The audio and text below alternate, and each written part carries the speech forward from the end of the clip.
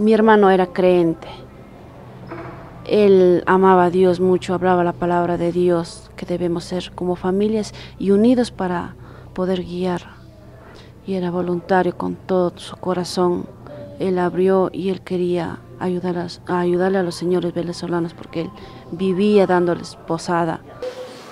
Él, por hacer el bien, la sociedad le pagó con el.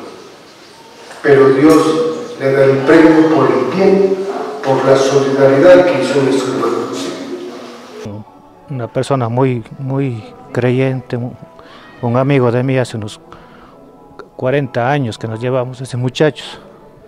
Él se fue para los Estados Unidos, viene estando de allá más o menos unos 14 años. ¿En qué trabajaba él? Eh, colega de nosotros, nosotros somos tapiceros de, de carros. Él también eh, ejercía ese trabajo que es también trabajado en Estados Unidos. Eh, el hecho se ocurre el día martes por la noche. El crimen le hacen en la cocina y de ahí le llevan al cuarto. Le dejan asfixiando, tapándole con una cobija y todas las paredes están manchadas de sangre. Se han llevado las cosas y eso le hacen por la venta de un carro que hizo por el dinero, le asfixian a mi hermano. Le hablábamos porque cogía, como era cristiano, pues decía que el deber de él era ayudar a la gente. Y a los extranjeros cogía, pues una vez estaba dos, marido, mujer y una niña. Después ya estaban tres, cuatro personas, al último ya estaban cinco ya. Él es soltero, somos cuatro hermanos. A la mamá Rosa Quituiza que le quería mucho y nos quería llevar a Cuenca a vivir con él para unirnos como familias. Tú me enseñaste el valor de la familia, de la amistad y el amor incondicional que se puede tener.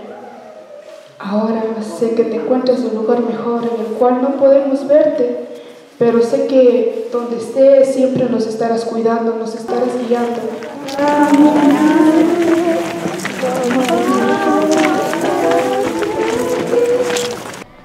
Me deja un vacío, pero con las autoridades quiero darnos para que no siga burlando, que no sea haciendo daño más esos señores, hoy por, mi familia, mañana por otras familias, queremos tener justicia.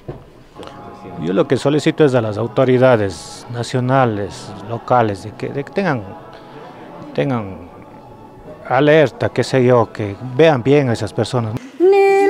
Hojas de los árboles se mueven, si no es por tu poder www.achiras.net.es, el portal de Girón.